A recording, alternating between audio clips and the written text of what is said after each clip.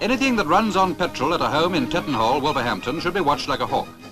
For there's just no stopping 11-year-old Peter Parker and his friend Richard Worrall. But it's not just youthful high spirits, there's method in their mischief.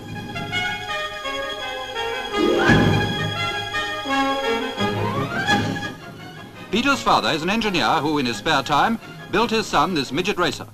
Everything about it is homemade, except the wheels and engine, a 98cc two-stroke capable of 40 miles an hour. It has two gears, clutch, throttle, and just as well, brakes. Weight, about one and a half hundredweight.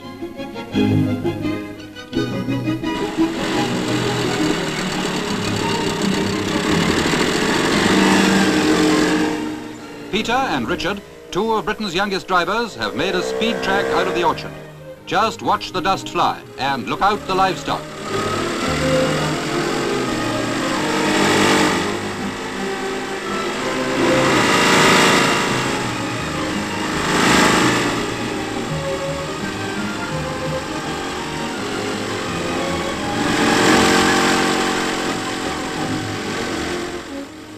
Peter's sister, still younger, she's only nine, is every bit as enthusiastic as the others.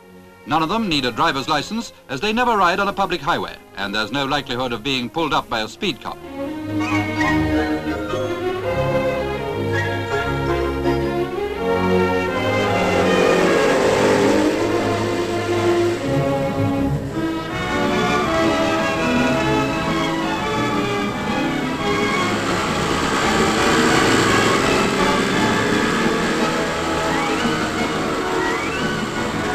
One lucky miss, the envy of every youngster in the world.